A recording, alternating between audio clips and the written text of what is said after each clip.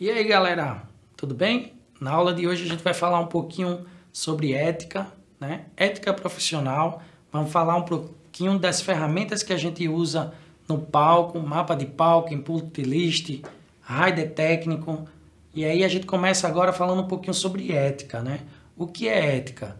Ética é o conceito que, do que a gente tem de prioridade, de respeito, de respeito com o próximo, né?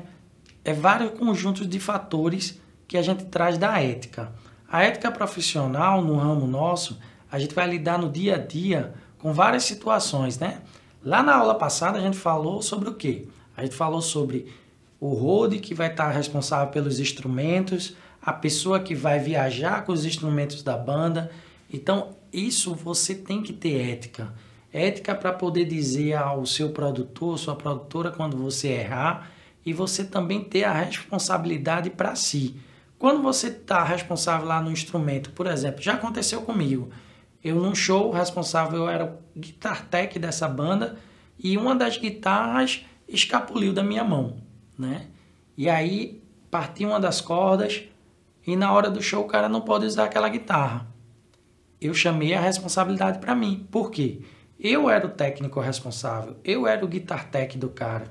Então eu precisava dizer e ter a ética que aquilo ali foi responsabilidade minha, né? Porque imagina eu vou jogar a culpa em alguém ou vou dizer não sei, né? Você termina não sendo tão profissional, né?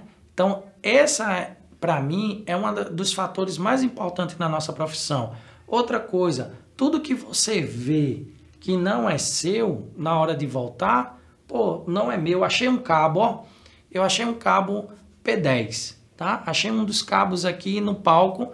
Então, eita, esse cabo não tem minha marcação. Porque como você pode ver, ó, todos os meus cabos têm uma marcação. Mas aí eu chego lá no show, não tem... Achei um que não tem marcação. Pode ser da equipe de áudio, pode ser da banda que tocou antes de mim. Então, eu vou chegar e entregar a pessoa responsável do palco. Quem é essa pessoa responsável? É o diretor de palco. Então, eu vou chamar o diretor de palco e dizer, olha, eu encontrei esse cabo. Né? Pode ser da banda anterior, pode ser da equipe de áudio. Aproveitando isso, a gente precisa também saber quem são os profissionais que atuam dentro de um palco, tá?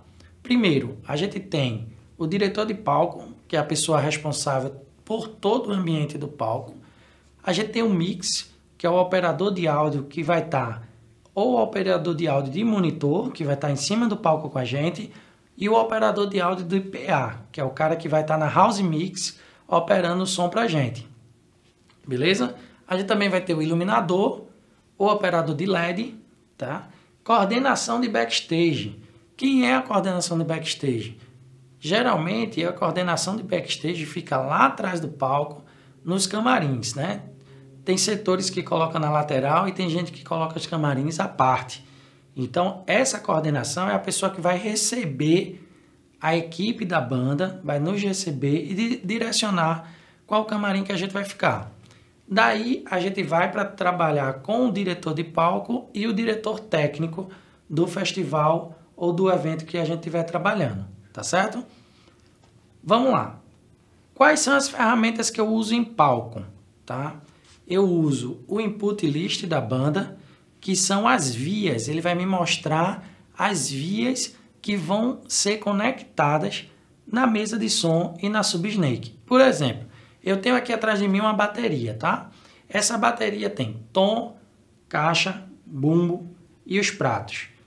Então, cinco vias. Essas cinco vias eu tenho que direcionar quais são os canais que vai estar usando. Por exemplo, pedal para bumbo, vai ter um microfone. Caixa vai ter outra, outro microfone. Tom vai ter outro microfone.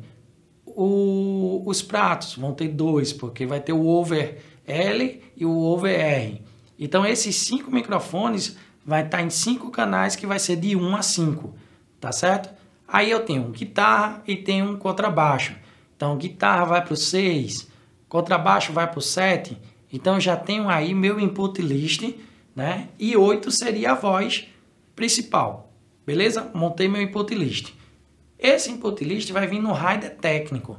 O que é o rider técnico? O rider ele vai vir tudo que eu vou usar no palco dos meus equipamentos. Então eu vou ter bateria, né? Bumbo, caixa, tom, prato.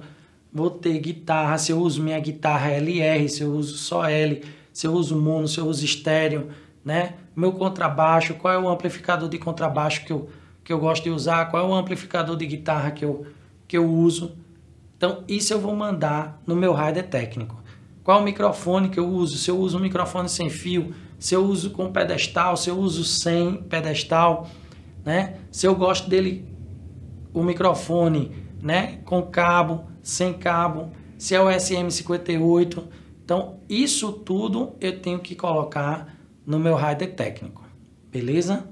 Coloquei lá o rider técnico, tá montadinho. Nesse rider vai vir input, vai vir o, o rider de camarim, vai vir também o meu rider de luz, o que é que eu vou usar na luz, tá? E vai vir o mapa de palco também nesse rider técnico. Ah, beleza. O que é que vem lá no mapa de palco? É a posição que cada um vai ficar. Aí na imagem que vocês estão vendo, aqui do meu lado direito tem um amplificador de contrabaixo, do lado esquerdo eu tenho um amplificador de guitarra e tem uma bateria aqui atrás de mim, certo? Esse aqui é um mapa de palco que eu tenho para usar com essa banda, tá? Essa banda aqui tem um vocal principal. E aí esse vocal principal ele fica no centro, né? Então eu já tenho a ideia aqui para vocês de um mapa de palco, tá? O que é que eu vou fazer quando eu chegar lá no palco? Eu vou montar exatamente como está montado aqui. Só que tem aí, eu vou botar informação lá no rider que eu estou falando para vocês, se eu vou usar com praticável ou sem praticável, a altura do praticável, tá? E o que é o praticável? O praticável é aquele carrinho, gente, que a gente coloca os instrumentos em cima, que ele pode ser o telescópio ou o pantográfico, tá? Então a gente precisa saber qual é a altura. A altura dele é 20, 40, 60. Então a gente determina também a altura e a quantidade que a gente vai usar, tá certo? Eles têm a dimensão de 1 metro por 2, tá certo? Um de largura e dois de comprimento.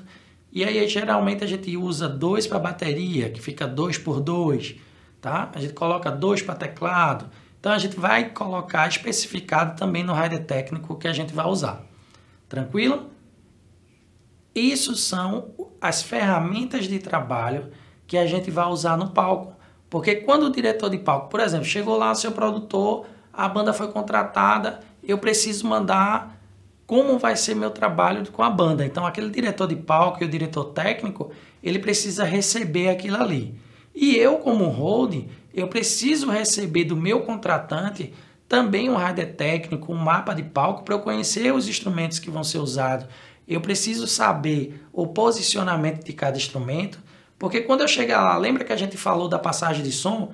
Na passagem de som, depois que eu montar todos os instrumentos, montei os praticáveis, eu vou novamente usar uma fita, né, como mostrei para vocês, só que dessa vez eu vou marcar a posição de cada instrumento. Eu vou marcar os praticáveis, né, eu vou marcar a posição que eles estão, porque depois que acabar a passagem de som, que eu sair do palco com meus instrumentos, eu sei exatamente onde vai ficar cada instrumento na hora do meu show. Porque a virada do palco né, para o show é entre 15 a 20 minutos. Esse é o tempo médio que tem cada banda para poder ter sua virada. A equipe técnica do festival ele tem esse tempo hábil para trocar uma banda. Então, para ninguém estar tá batendo cabeça, estar tá perdido em palco, existe essa marcação. Porque na hora que a gente voltar, a gente vai estar tá exatamente ali. Então, por isso é muito importante a gente trabalhar em cima desse rider técnico, desse input list, desse mapa de palco. Tudo isso são ferramentas totalmente necessárias para a gente estar tá trabalhando e dar o nosso melhor para a banda, para o festival, para aquele contratante nosso. Beleza? E essa fica aí nossa aula de hoje. Muito obrigado e até a próxima aula. Valeu!